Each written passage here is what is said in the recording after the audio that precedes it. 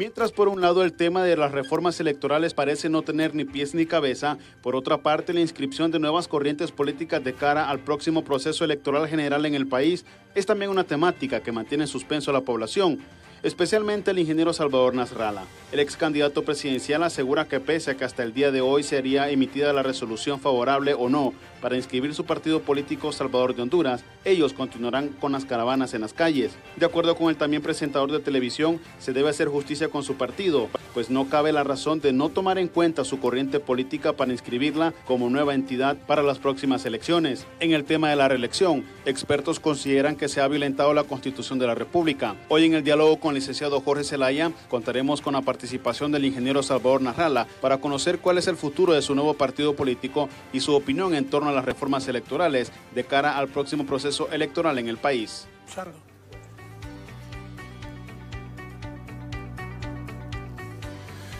Da mucho gusto estar con ustedes. Bienvenidas y bienvenidos, por supuesto. Todos conocemos la postura y el ideal de nuestro invitado el día de hoy en este espacio. Tras tener algunas trabas para inscribir su nuevo partido, Salvador de Honduras, el reconocido ingeniero Salvador Narrala, presentador también de televisión y líder político, se ha topado con una serie de trabas para poder permitirle participar en el proceso electoral del próximo año. No cabe duda que el tema de las reformas mantienen en suspenso a la comunidad política del país, más aún si no existe un consenso de los actores involucrados en aprobar las mismas, aun cuando ayer se hizo el anuncio de una comisión especial que nombró el presidente del Congreso que habían llegado a algunos acuerdos para presentarlo el próximo miércoles de esta semana al Pleno de la Cámara Legislativa y comenzar con su discusión. Hoy queremos escuchar de su voz qué es lo que está pasando exactamente con su nuevo partido, así como también conocer su postura con el tema de las próximas elecciones y trataremos de dar un amplio panorama de lo que pasa en nuestro país. No sé si estamos ya en comunicación con el ingeniero Salvador Nazrala. En efecto, nos indican que sí, en este momento. Ingeniero, muchísimas gracias por aceptar la invitación y por supuesto, como siempre, es un gusto tenerlo aquí en BTV, en el enlace, también a través de Facebook en BTV Somos Todos Honduras y nuestras frecuencias de radio 92.5 en FM para la zona central y sector norte del país. Muy buenos días, ingeniero. Buenos días, Jorge, y buenos días a la gente que está pendiente de BTV. Efectivamente, hoy es un día muy importante para la democracia de Honduras. Hoy podrían eh, dar el escrito final, han ofrecido dar el escrito final a las 3 de la tarde los concejales del Consejo Nacional Electoral respecto a la resolución que ya tomaron el miércoles, pero que todavía no nos ha sido entregada. El miércoles se reunieron los tres concejales y decidieron que cumplimos con todos los requisitos y que nos van a dar hoy, lunes 7 de septiembre a las 3 de la tarde, el documento ya oficial que nos permitirá realizar el trámite para la inscripción del partido y la publicación en la Gaceta. Eh, para eso nosotros, eh, alguna parte de nuestra membresía ha decidido apostarse a partir de las 9 de la mañana ahí en el Consejo Nacional Electoral en Tegucigalpa, en el barrio La Granja, para esperar este documento que nos van a entregar. Y yo ofreceré a las 10 de la mañana una conferencia de prensa a la cual están invitados todos los medios de comunicación. ¿Cómo toma usted esta decisión, adelantándonos, por supuesto, a lo que va a ocurrir en el sentido de que sí se le va a permitir, de momento, participar en las elecciones del mes de noviembre del próximo año, elecciones generales en el país, ingeniero?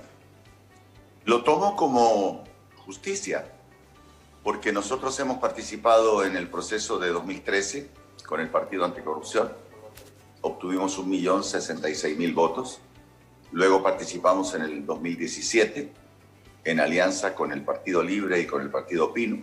Sacamos prácticamente 1.400.000 votos y el Partido Libre había sacado 400.000 en las elecciones internas, o sea que aportamos otro millón de votos.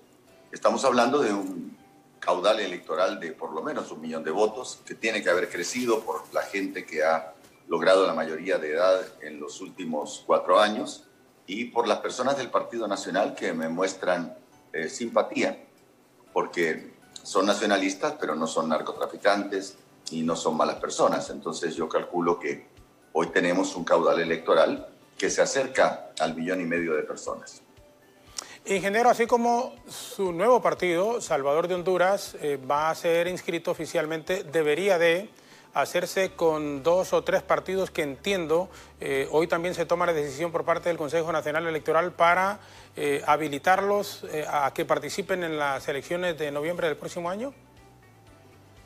Eso es lo que escuché de la resolución que tomaron, que a los otros dos partidos que están participando, entiendo que uno es del diputado Yescas, el otro no sé de quién es, eh, los van también a autorizar, les van a dar la personería jurídica, o sea que esta semana tendrá bastante trabajo la Gaceta, porque tendrá que publicar estatutos y todos los documentos, que son un montón de páginas de tres partidos, y adicionalmente lo que el Congreso irónicamente llama reformas electorales y que no son más que reformas cosméticas a la ley electoral una vergüenza y una puñalada contra la democracia de nuestro país. Ya vamos a profundizar un poco cuando dice una vergüenza, una puñalada, esas reformas, pero eh, eh, quiero para seguir el hilo de la conversación en este momento, ingeniero. Eh, hay gente que critica estos partidos porque alrededor de 13 u 14 partidos van a participar en las elecciones generales del próximo año. Hay gente que dice que son partidos de maletín, otros que creen que por efecto de democracia debería de permitírseles participar. ¿Cuál es en relación a ellos su concepto real de lo que podría ocurrir si es que este número de partidos llegan a las elecciones del mes de noviembre? Yo dejaría todo en manos del, del pueblo, en la opinión del pueblo. O sea, sometería al pueblo a que opine eh, claramente, si usted va a la calle y hace una encuesta, eh, la gente identifica cuatro partidos. Identifica al partido que está en el poder, que es el Partido Nacional, el Partido Liberal, el Partido Libre y el Partido Salvador de Honduras, que quizá no lo identifica con el nombre, pero dice el Partido de Narrala. Esas son las cuatro verdaderas fuerzas que hay en el país. Eh, recordemos que durante su gestión desde el Congreso y en su primer mandato, Hernández, el, hermano del narcotraficante que será juzgado el 16 de septiembre en Nueva York, eh, decidió darle vida a partidos pequeños con el fin de contar con las credenciales de ellos para las elecciones, tanto en 2013 como en 2017. Eh, ya en 2013 y en 2017 hay pruebas de muchos partidos que han sacado 3.000 votos en 2013 y 3.000 votos en 2017. Claramente, eh, más que partidos políticos, son instituciones políticas que tienen todo el derecho de existir para el pluralismo y todo eso. Pero para poder competir en elecciones se necesita tener un caudal político que infortunadamente una vez participaron y no lo probaron, volvieron a participar y no lo probaron, o sea, siempre llegaron a sacar máximo 5.000 votos y eso lo que hace es encarecer y entorpecer el procedimiento, que es justamente lo que el gobierno quiere, que haya eh, bastantes piedras en el camino para que no sea claro y al final haya a quién recurrir para poder justificar los fraudes. Y en este caso entiendo que seríamos 14 partidos, de lo cual el pueblo es el que tiene que opinar sobre cuáles son los que deberían participar, porque de repente se podría hacer como en el fútbol, Jorge, a ti que te gusta el fútbol, se podría hacer una eliminatoria entre los otros 10 partidos que no requieren una gran inversión y, sacar a uno de ellos, el que gane de ellos, y definir una cantidad de votos, que se obtiene esa cantidad de votos, entonces participa en las finales contra los otros cuatro que sí han demostrado tener un caudal de votos. Esa es una idea que se me acaba de ocurrir. Sí, bueno, aquí sería, como dicen también, participando en un proceso rápido de, encuestas o de elecciones entre estos partidos o sacar un candidato, como dicen, de los partidos eh, eh, emergentes.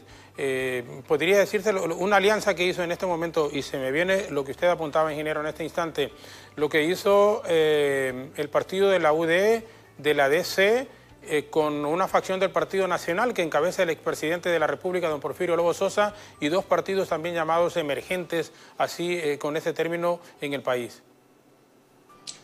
Sí, eh, aunque en el caso de, la corriente de Porfirio Lobo, yo creo que él tiene bastante más que todos los demás partidos pequeños. que el problema es analizar, y eso puede ser objeto de un foro, analizar la votación de los partidos eh, emergentes y, comparar. Como si un partido sacó 3.000 votos o 4.000 votos en tres elecciones consecutivas, es claramente un partido que es una institución política, pero no es eh, quien va a llevar votos como para instalar eh, 20.000 mesas electorales y, y, emitir papeletas para que se utilicen ahí. Eh, yo recuerdo que en, una de las, en las dos elecciones pasadas, eh, los, los partidos emergentes sumaron 18.000 votos. 18.000 entre todos. O sea que incluso una alianza de ellos no produce eh, una fuerza o un caudal, un caudal, político importante para competir con el, la dictadura, competir contra Libre, contra Salvador Narrala o contra el Partido Liberal. ¿Cómo ve realmente de cara a las elecciones de noviembre? Porque entiendo, y aquí le pregunto, eh, obviamente usted no va a ir a un proceso interno en el mes de marzo con su partido, sino que ya directo a las elecciones generales en noviembre. ¿Cómo ve el panorama realmente tomando en cuenta ya que eh, estén listos los candidatos del Partido Nacional en su proceso interno, Partido Liberal, Libre y algún otro partido probablemente que no creo después de estos tres que vayan a, participar en el proceso de, de marzo, en las elecciones primarias? Yo sí voy a hacer un proceso interno de elección. Ajá, para sus candidatos a diputados y alcaldes. No, para si alguien de los que está en este momento eh, quiere competir con una corriente interna ah, dentro del Partido Salvador de Honduras contra el nacionalismo, que es la corriente mía, perfectamente puede hacerlo. Vamos a hacer unas elecciones internas en las cuales eh, no vamos a costarle ningún cinco al Estado de Honduras, a diferencia de los partidos tradicionales cuyas elecciones primarias del próximo mes de marzo sí le van a costar al país. Nosotros realizaremos nuestro, nuestro proceso para ver si la gente quiere que yo sea candidato o eh, prefiere que otra persona sea, sea candidato. Bueno, va a ser bien difícil, por no decir imposible, que se presente otra corriente dentro, pero bueno, está dentro del margen de posibilidades. Ahora, dando como un hecho, perdón. Recordemos, recordemos que con el Partido Anticorrupción, el gobierno de la República postuló a la esposa del Cachiro, el Cachiro que será juzgado el próximo 16 de septiembre, y le hizo una corriente y obligó a gastar 20 millones de lempiras al tribunal electoral que dirigía David Matamoros para unas elecciones internas en las que solamente participó la corriente Cachira y así fue como nos quitaron el partido anticorrupción. Eh, no sé qué es lo que puede pasar. Ok, ¿usted cree que podría correr también una suerte similar esta vez? Pues no lo sé, precisamente estamos intentando tener dentro de nuestro partido a la gente más correcta, a la gente que no mira la política como un fin para enriquecerse, sino que como un fin para salvar a nuestra nación, que ha sido siempre mi idea, pero siempre lo hacemos en el plano democrático, dándole oportunidad de expresarse a las personas. En el proceso anterior, en su movimiento eh, anticorrupción en el partido, eh, como candidato alcalde en Tegucigalpa, el ingeniero Carlenton Dávila, eh, ya dando como un hecho que va a participar en las elecciones eh, ¿Quiénes son sus principales figuras y que estarían encabezando como candidatos a diputados aquí en Francisco Morazán y su candidato alcalde San Pedro Sula y Tegucigalpa y algunas otras ciudades importantes del país? ¿Ya los tiene visualizados, ingeniero? Tenemos una lista de personas que podrían ocupar ese cargo, tanto el cargo de alcalde como el, cargo de diputados, pero no, no hemos tomado la decisión porque la vamos a tomar. Primero, esperamos que nos den el partido una vez que tengamos el partido, vamos a analizar cuáles son los méritos y la cantidad de trabajo aportada al grupo y no individualmente. Porque en Honduras hay un gran defecto y es que muchas personas trabajan por su candidatura, para ser diputados y para ser alcaldes, pero no lo hacen en beneficio del partido. Entonces prácticamente trabajan para ellos. Es una aspiración personal de ellos. Y si el líder del partido no los apoya, ellos agarran y se van para otro partido. Y eso es la política tradicional. Eso es lo que yo pretendo que no ocurra dentro del Partido Salvador de Honduras y fueron algunos de los errores que cometimos al seguir el lineamiento de la política tradicional cuando tuvimos el Partido Anticorrupción. No te puedo mencionar nombres, pero sí te puedo decir que hay mucha gente que en este momento la tenemos oculta, eh, oculta porque ellos no quieren darse color y que pertenecen al, a los partidos tradicionales, son identificados como personas de los partidos tradicionales, pero son gente buena, son gente que no tiene cola que le pisen y en su momento van a destapar su eh, coincidencia de los principios míos para sacar a Honduras de esta situación calamitosa en la cual se encuentra. Ahora, ¿cómo tratará de frenar, de controlar eso de que los candidatos a alcaldes, los candidatos a diputados y a otros cargos de elección popular puedan trabajar más por sus candidaturas que eh, por la candidatura de ellos que por la propia del candidato presidencial número uno y dos y que no le suceda lo que ocurrió con algunos diputados que salieron por su partido, por eh, la figura de Salvador Narrala en las elecciones generales y a los pocos días de estar ahí tomaron rumbos completamente distintos. Bueno, ese es un problema ya del Congreso, porque el Congreso en los últimos años ha sido manejado prácticamente por el narcotráfico.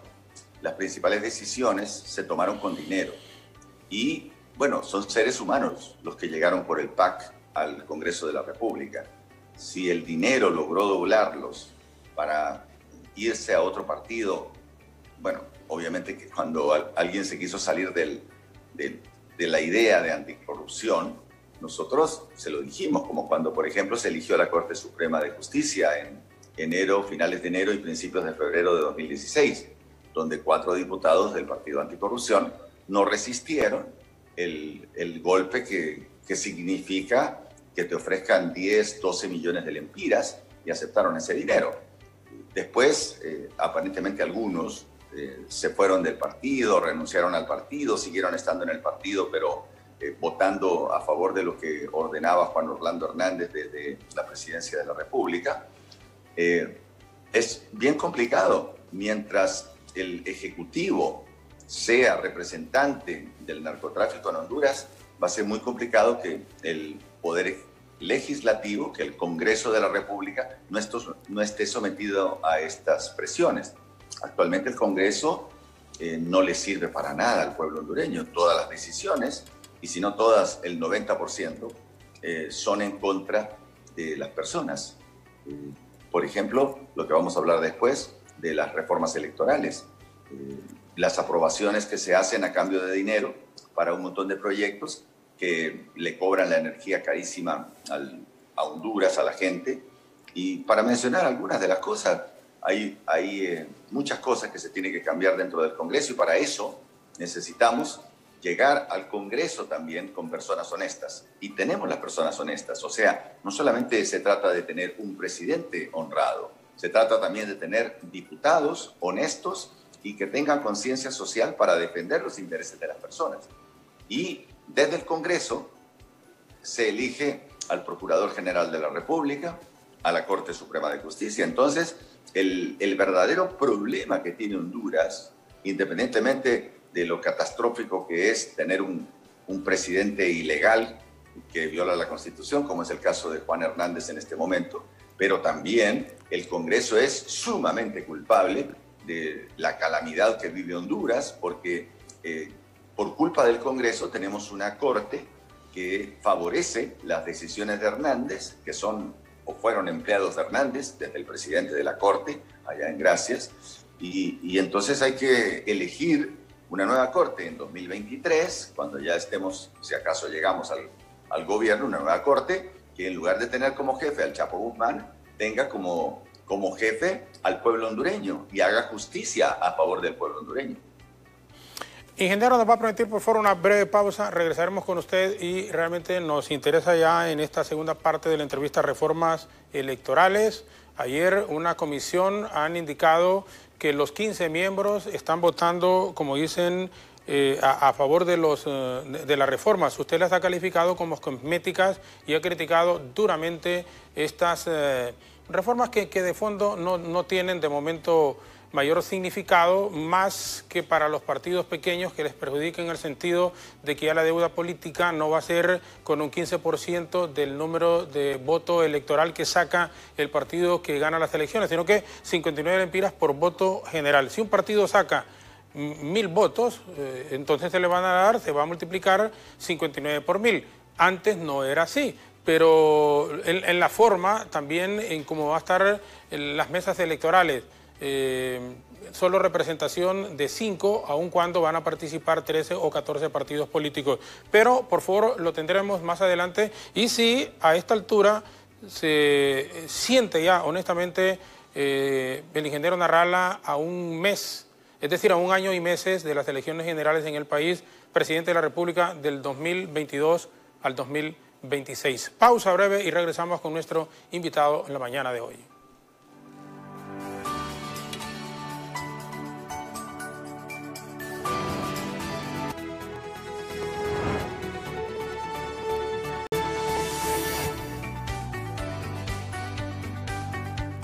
Siete con 25 minutos seguimos conversando con el ingeniero Salvador Nazarrala, candidato del partido Salvador de Honduras, que será inscrito eh, hoy oficialmente, oficialmente después de haber presentado su, eh, su solicitud al Consejo Nacional Electoral. Ingeniero, reformas electorales, se han puesto de acuerdo y dicen los 15 miembros, lo presentan a la, Secretaría del Congreso Nacional para que se discuta, pero usted ha calificado estas reformas como cosméticas y las ha criticado duramente. ¿Por qué? Formas, porque las reformas electorales son un tema que se viene hablando desde el 2011. Desde que yo entré a política ya se hablaba, a raíz del problema que hubo en Honduras con el golpe de Estado, se estuvo hablando del, de las reformas y, y, las reformas que realmente se propuso. Me acuerdo de la señora Ulrike Lunacek de la Unión Europea y, y las personas que representaban a Naciones Unidas, a la OEA, a la Embajada Americana. Eh, todos ellos hablaban de que en Honduras eh, correspondía con el nacimiento del Partido Libertad y Refundación y con el nacimiento del partido eh, PAC, correspondía a la segunda vuelta. Y se lleva ya prácticamente nueve años hablando de eso y, nada, porque la segunda vuelta no le conviene al que maneja en este momento la presidencia. Entonces, eh, también se hablaba del voto hondureño en el exterior Primero se habló de voto electrónico, después se habló de voto por courier. Y todo eso se ha venido repitiendo. Incluso una gran crisis en 2015, cuando la marcha de las antorchas, y nada de eso se ha aprobado. Entonces ahí te mencioné dos, la segunda vuelta y el voto hondureño en el exterior por courier. Por ejemplo, en este momento, si tú entras al Internet, te vas a dar cuenta que los estadounidenses están votando por correo no solamente los que viven afuera, también los que viven adentro, porque ellos eh, ven que hay menos posibilidades de contaminación votando por correo que acudiendo a las urnas. Pero ellos, millones de norteamericanos, millones de estadounidenses a través de la historia, han votado por courier. ¿Cómo se hace eso? Bueno, el Consejo Electoral de los Estados Unidos manda por courier el voto a las personas hondureñas que muestran a través de correo electrónico su intención de votar. Y estas personas devuelven a Estados Unidos el voto, el cual se abre el día de las elecciones por un comité, un grupo de personas especialmente dedicadas para eso. Entonces en Honduras no habría ninguna dificultad de pedirle a nuestros conciudadanos que viven en los Estados Unidos que manifiesten a través de correo electrónico su intención de votar y que den el lugar al cual les pueden mandar el voto. Eh, estoy seguro que eso nos permitiría contar con unos 300 o 400 mil votos de los Estados Unidos que actualmente no están votando. Y parece ridícula la cantidad de gente que logra votar en los lugares donde instalan las pesas de votación los consulados hondureños. Eh, solo 2.500 personas votaron en 2017. 2.500, es una vergüenza, porque en Estados Unidos hay 1.800.000 compatriotas, de los cuales por lo menos 1.300.000 tienen que ser mayores de 18 años y estar en edad de votar. esa pajarita de los diputados que dicen que los hondureños no quieren votar, por favor, eso es una gran mentira.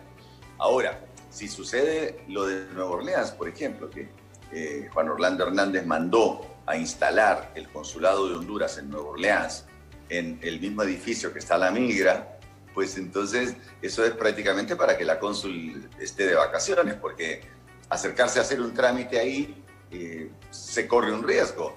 Y si vas a votar, también se corre un riesgo.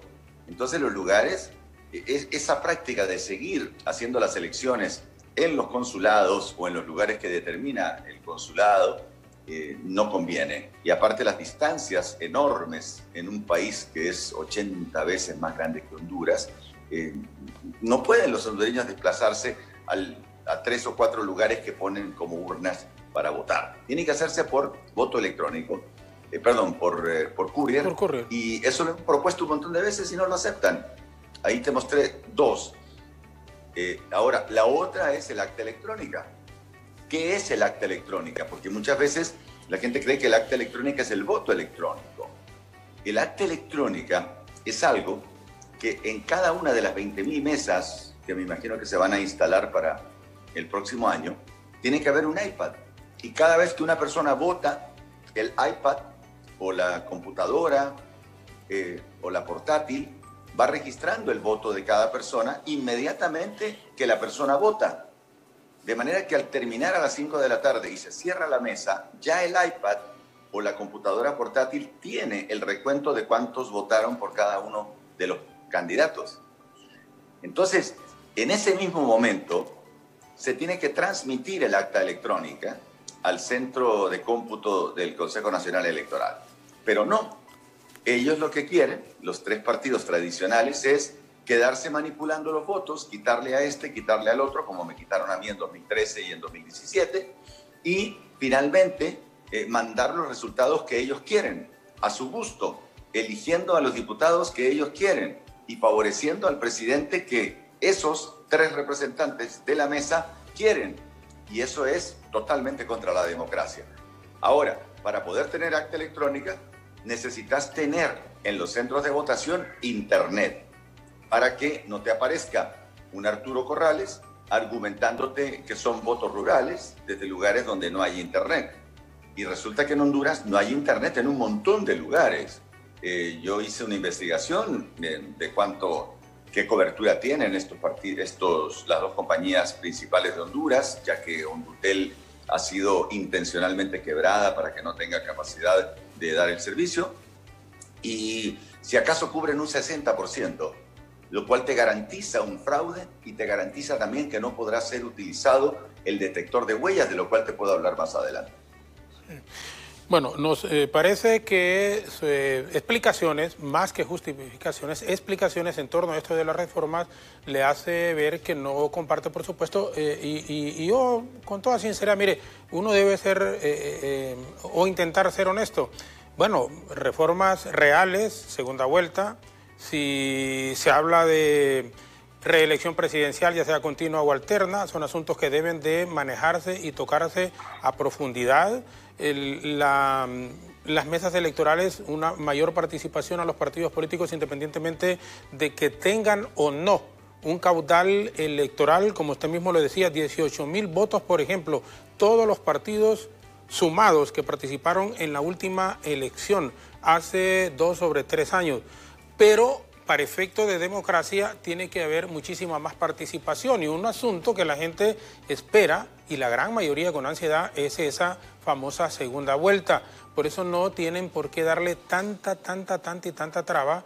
Usted mismo lo dijo, desde el 2011, por ejemplo, al 2020 estamos hablando de nueve años en donde se ha visto involucrada la Embajada de los Estados Unidos, eh, la OEA, eh, la Unión Europea, y al final, al final seguimos con los mismos vicios en estos procesos electorales.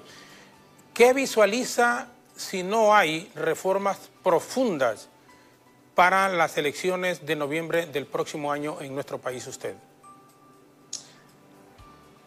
No va a haber reformas porque entiendo que esta semana van a aprobar simplemente la cosmetología que le han hecho a, esos cambios. Bueno, el hecho de la, de la deuda política, el otro día estuve con algunos eh, asesores eh, del Consejo Electoral y dicen que el hecho de que ahora solo le paguen por voto a los partidos es una, es una gran reforma. Sí, es una reforma, pero, pero las reformas principales, las que influyen en quién va a ser el presidente, quiénes van a ser los diputados, esas no se están tocando. Entonces, eh, yo visualizo un proceso electoral para el próximo año en el que eh, la mayoría de personas podría desbaratar todo el día de las elecciones, al ver que empieza a hacerse el fraude, que es un fraude que ya está empezado y de eso te puedo hablar más adelante, o sea, no es un fraude que se va a consumar como en periodos anteriores el mismo día, no, el, fraude para 2021, eh, Juan Orlando Hernández y su cártel ya lo tienen eh, perfectamente planeado y, en este aspecto hay que felicitarlos porque son delincuentes de muy alto nivel. Eh, no son cualquier delincuente, son delincuentes tecnológicos y ya lo tienen hecho tecnológicamente con la ayuda de Naciones Unidas. Entonces yo lo que visualizo es que la gente, al ver que los resultados empiezan a favorecer gracias al fraude a la dictadura, podría irse a hacer justicia el mismo día de las elecciones por sus propias manos, al ver que su voto no tiene validez. Las otras veces ha sido súper paciente, pero el hambre que ha pasado en los últimos años eh, es algo que lo llevaría a, cometer actos eh, probablemente eh, indeseados. Por lo que yo recomendaría a la gente que está en esto que no piensen que el pueblo que va a ir a votar el próximo año es el mismo pueblo inocente, tranquilo y pacífico. Es un pueblo que ya tiene más hambre, que ya no tiene trabajo, que se encuentra en una situación calamitosa. Entonces, eh, hay que evitar eso. Y para evitar eso hay que parar desde hoy lo que está haciendo el RNP. Y por eso yo he presentado, mucha gente me dice, oye, y esas cosas, si vos lo que crees es que te inscriban en el partido. Es que yo no quiero que me inscriban en el partido para meterme a que me vuelvan a hacer un fraude. Yo quiero que me inscriban en el partido para que haya democracia en Honduras y la gente pueda votar por las personas que realmente pueden hacer algo a cambio para que se mejore. Entonces, el, el RNP está cometiendo un fraude tremendo. Y claro, la gente que no entiende de tecnología, pues muere en la rueda, se queda infortunadamente sin conocimiento y no quiero aparecer prepotente en esto, pero son cosas bien elementales. Cuando leo en el periódico o escucho en la radio, en la tele, que dicen que no, que, que con la huella se soluciona todo. no saben que para poder tener un detector de huellas eh, hay dos factores fundamentales. Uno, tiene que haber internet. Cuando uno llegue a una mesa y ponga su huella, si no hay internet, su huella no podrá ser comparada. Y la decisión de si vota o no vota el marchante la va a tomar entre los tres partidos, nacional, liberal y libre y ellos ya están de acuerdo.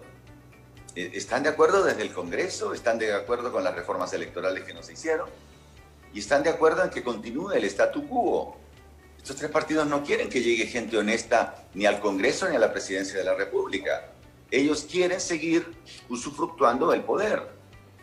Entonces, lo que hay que resolver para el día de las elecciones es que tiene que haber un sistema satelital contratado dedicado todo el día de las elecciones a darle internet, bañar toda la geografía nacional.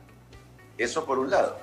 Y por otro lado, hay que parar desde ahora los dos grandes defectos o imposibilidades que tiene el Registro Nacional de las Personas y que son la razón por la cual yo presenté hace 10 días una denuncia criminal contra los tres concejales del RNP, porque ellos están violando la ley del registro civil al colocar activistas políticos a tomarle las huellas y a enrolar a las personas, violentando los artículos de la Constitución y los artículos del registro civil que señalan que las personas que te van a tomar los datos y que te van a emitir algún documento tienen que ser ministros de fe.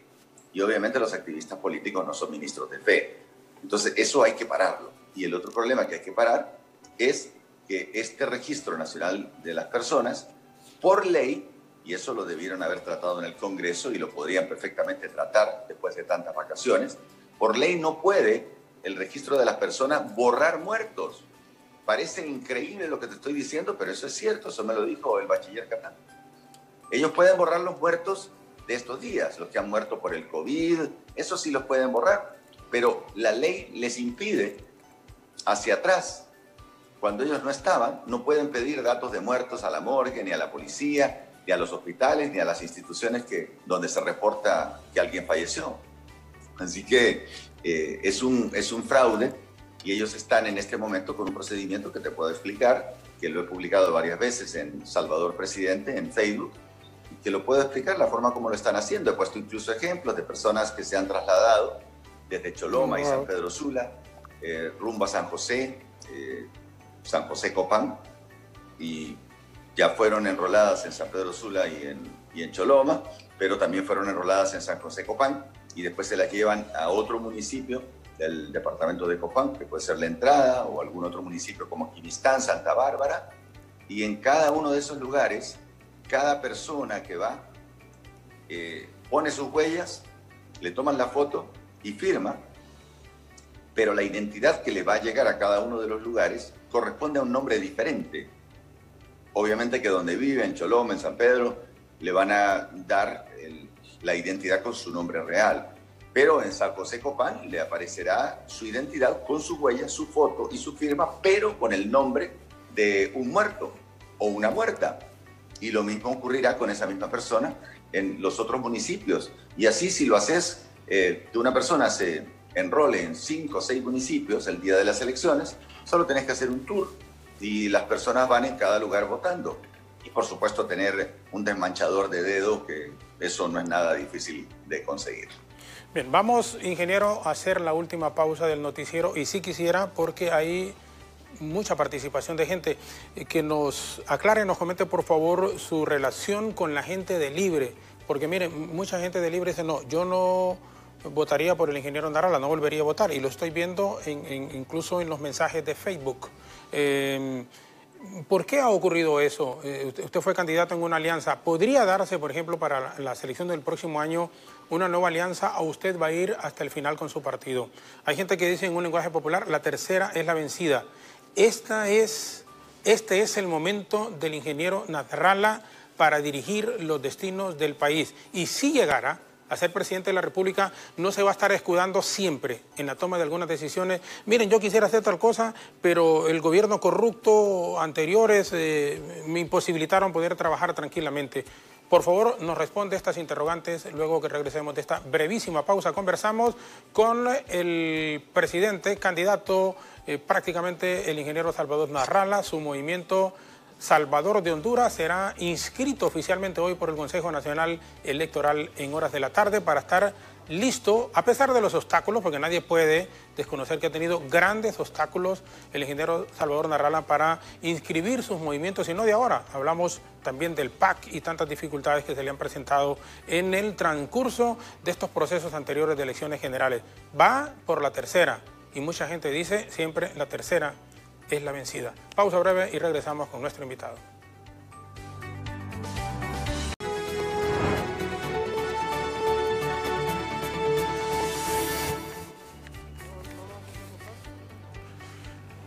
Mira, dice Rodrigo Escoto, por ejemplo, Salvador ha luchado mucho por la presidencia, por algo bueno será, confío que sí, que así sea, dice Rodrigo, y resumo muchas participaciones de gente en relación a ello. Yo le pregunto al ingeniero, y en efecto, ha luchado y le ha costado tanto.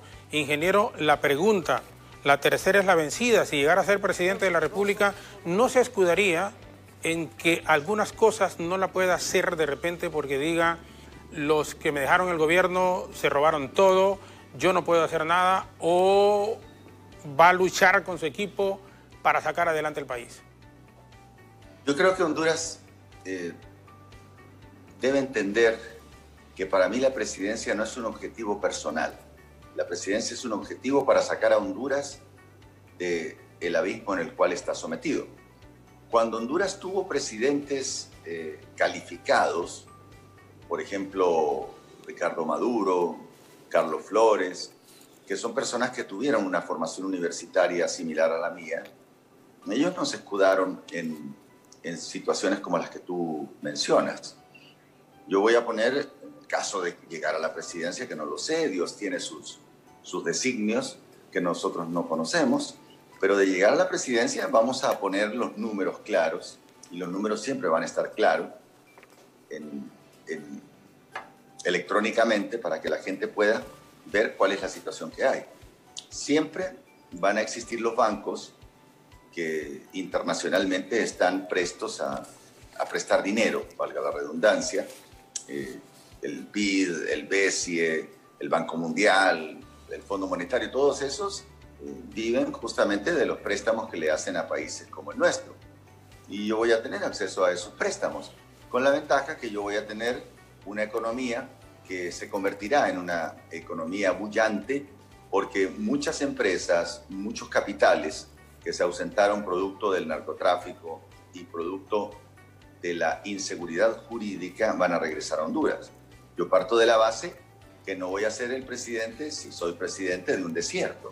Voy a ser presidente de un país que está lleno de oportunidades, un país que tiene un clima espectacular, que tiene 676 kilómetros de playas, que tiene posibilidades para conectar los dos océanos, para mejorar el comercio que existe con todos los países del mundo por su ubicación y salida a los pares. Entonces, yo no voy a ir a, no voy a, gobernar un desierto. Y además, no voy a gobernar solo, porque la mayor parte de la gente que por temor a que la maten ha estado eh, silenciada y no dice cuáles son sus verdaderos sentimientos, eh, esa gente me va a ayudar obviamente que yo no lo voy a hacer solo y, no tengo esa costumbre de echarle la culpa a nadie, digamos. Eh, en mi trabajo, a través de 43 años en la tele y 54 años en los medios, es un poco una medida de lo que yo podría llegar a hacer en un puesto público y para mí siempre la excelencia ha sido fundamental y lo he demostrado. Así que por ese aspecto, eh, si alguien piensa que yo le voy a llegar a echar la culpa, no. Ahora, lo que sí les digo es que en la próxima elección se necesita tener un Congreso que represente al pueblo, porque si en el Congreso eh, siguen los delincuentes, narcotraficantes de los, de los partidos tradicionales, que actualmente no podemos desconocer que el 80% de los, del Congreso son delincuentes. Eh, antes de llegar al Congreso eran ladrones de ganado, ladrones de queso, eh, narcotraficantes, muchos fueron señalados por la por la Maxi. Entonces necesitamos cambiar eso. O sea, yo tengo una campaña para que la gente vote por la gente que tiene que votar y no por los delincuentes. Así que les advierto a los que se van a meter en los partidos tradicionales que es muy probable que nos, que nos salgan. Si es que logramos que el Internet valga en las próximas elecciones, porque nosotros simplemente le vamos a decir al pueblo que la vez pasada de repente le fuimos anunciando, pero no le dimos las instrucciones de lo que debía hacer en caso de que se consumara el fraude. Y, y en ese aspecto eh, yo me siento tranquilo de que la gente me va a responder. ¿Usted, por qué la gente debería votar por Salvador Narrala? Eh, ¿Es, es, honesto? ¿Hay empatía con Salvador? Eh, ¿Cuál es su mayor cualidad o virtud que usted realmente cree y por la cual el pueblo hondureño debería de votar en enero? Yo no estoy pidiendo el voto. Yo no, ando pidiendo el voto. No, pero ¿cómo no lo va a pedir si va a ser candidato presidencial, pues? No lo sé. Es que ahorita, primero, que me den el partido en la tarde, a las 3 de la tarde. Y después empecemos a que me resuelvan el problema del fraude que tiene montado Juan Orlando Hernández a través del Registro Nacional de las Personas y Naciones Unidas. Vamos por partes. Esperemos también lo que pase el 16 de septiembre, porque el 16 de septiembre, cuando condenen a Juan Antonio Tony Hernández, eh, automáticamente los co-conspiradores como CC4, que es Juan Orlando Hernández, CC5, que es Evaldía, van seguramente a iniciarles un, juicio. Entonces eso va a cambiar un poco el, el, panorama político y van a quedar expuestos también varios que en este momento son diputados del Congreso que están tomando decisiones. Ahora, si tú me preguntas cuáles son las cualidades del ser humano llamado Salvador Narrala, yo creo que la honestidad. Nadie puede decir que yo me robé alguna vez un peso o que yo le hice una mala pasada. Absolutamente nadie. Nadie, absolutamente nadie. O que yo le hice un daño a una muchacha y la dejé embarazada y la cargué con hijos. O que tuve más de un hogar o cosas por el estilo. No. Entonces mi principal cualidad es la honestidad. Yo soy una persona honrada. Lo que tengo lo he hecho con mi propio esfuerzo. Entonces, eh, eh, no, no, lo único que te puedo decir es que al pueblo, si acaso yo llego a ser candidato, le voy a ofrecer la oportunidad de defenderse, de trabajar, de estudiar, de tener acceso a la salud. Y lo haré con un grupo de personas. Pero primero para eso tengo que ser, tener mi partido y ser candidato. Antes de eso, prefiero no hablar. Bueno, las eh, mayorías de participaciones, la mayoría son felicitaciones, pero me llama poderosamente la atención aquí uno de Juan Losorto, dice, y el dinero del PAC, él utiliza una palabra bastante fuerte, pero dice, ¿qué pasó con lo del dinero del PAC, ingeniero?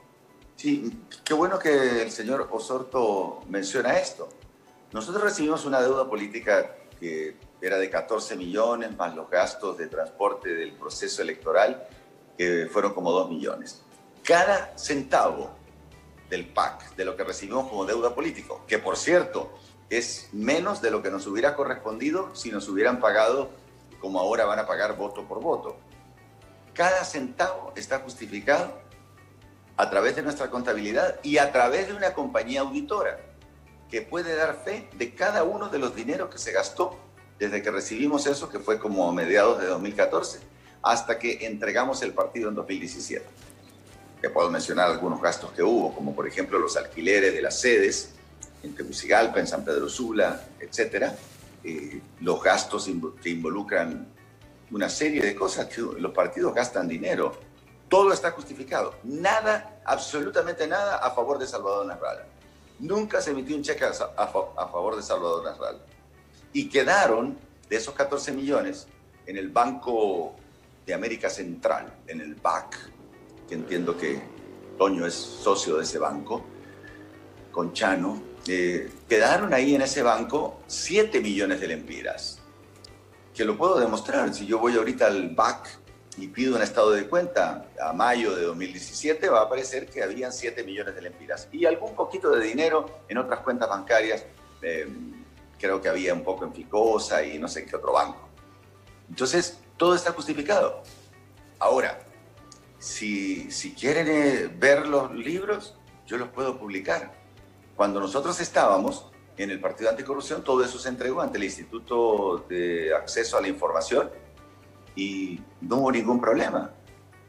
O sea que yo en ese aspecto cuando oigo eso digo, es una injusticia porque la gente conoce a Salvador Nasralla. Yo no me voy a lucir con pisto de, del pueblo hondureño, con pisto de la deuda política. Para nada, no necesito eso, nunca lo necesité y además tú que trabajas en medios de comunicación sabes que una persona como Nasralla que lleva tantos años, 54 años en medios de comunicación, no tiene necesidad de hacer eso. Soy una persona, un animador independiente que hago los programas de más audiencia. No hay ningún medio más rentable para anunciarse que X0 da dinero y 5 Deportivo. Ingeniero y ahora cuento con un millón de personas en las redes sociales. Entonces, ¿para qué voy yo a recurrir a robarme 100 pesos o 200 pesos si ni siquiera pagué una comida en el PAC? nunca pagué una comida, siempre la gente se costeaba su comida con el dinero propio. Sí, bueno, mira, aquí tenemos Carlos Moncada, el ingeniero es capaz, dice, pero sabe a lo que se enfrentará a un sistema corrupto. Lo apoyamos las personas decentes en el país. Esto haciendo alusión que formulamos una pregunta siempre aquí de Facebook y muchísima gente que está eh, participando, eh, apoyando por supuesto su candidatura. Adelante, Salvador Narrala, Edgardo Rueda también, buena Salvador es la solución, pero antes de concluir vamos a ir a San Pedro Sula.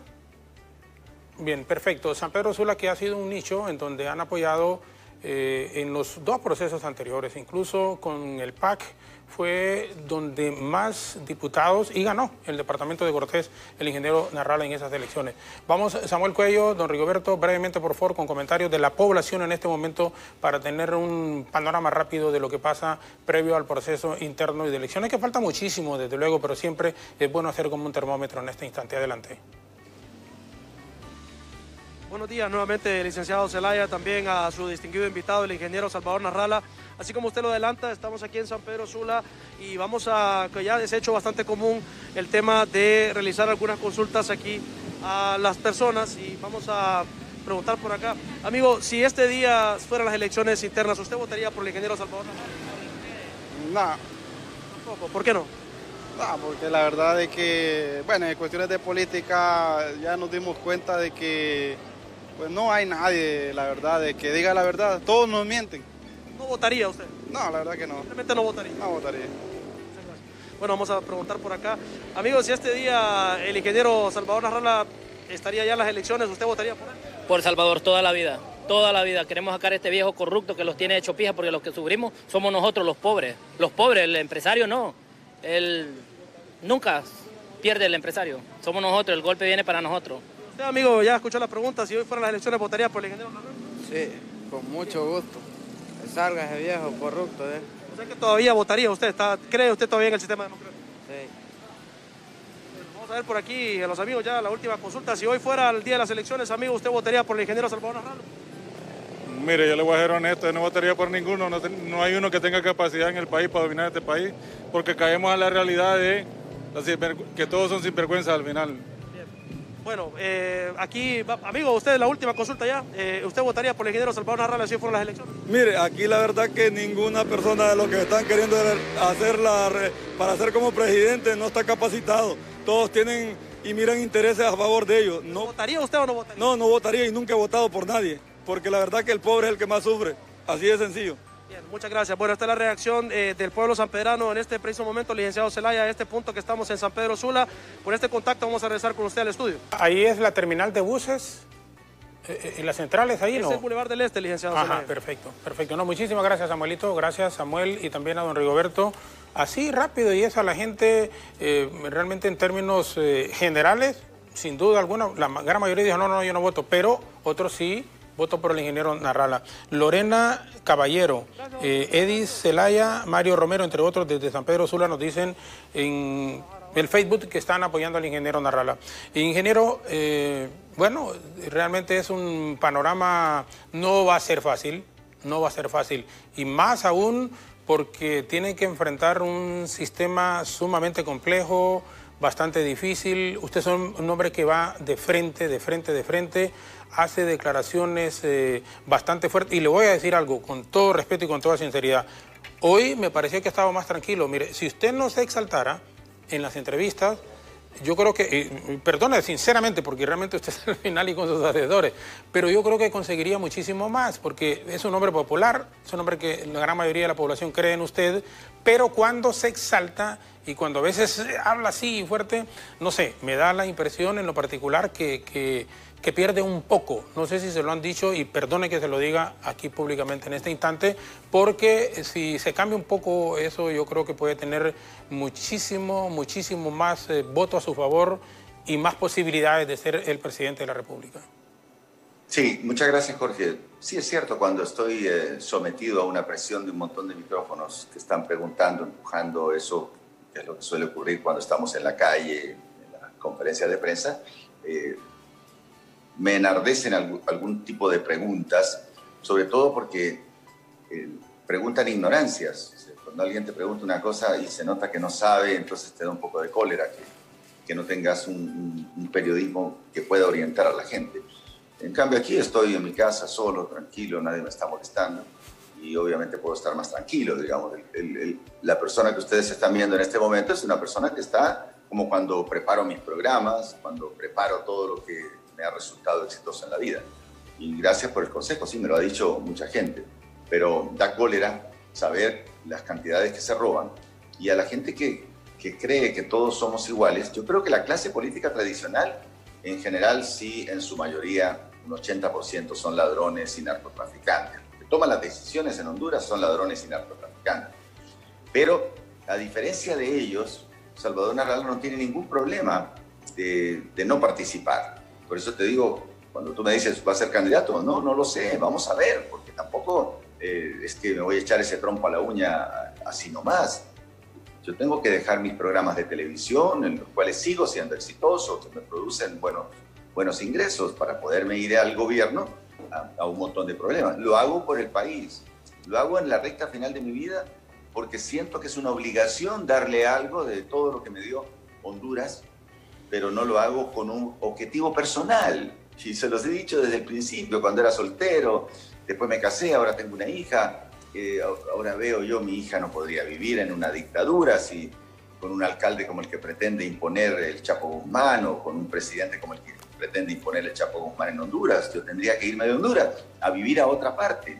No podría continuar viviendo aquí. Mis programas los tendría que empezar a generar desde el extranjero en caso que prevalezca la dictadura. O sea, la mayor parte de gente de Honduras se ha ido. Y muchos en 2013 me decían, mire, si usted no resulta presidente, yo me voy. Y se fueron. Y en 2017 me decían lo mismo, y se fueron. Y por eso, del millón que teníamos en Estados Unidos, ahora tenemos 1.800.000 personas que escaparon, más 200.000 que hay en España. Muchas gracias por, por, la entrevista, creo que ya se agotó el tiempo.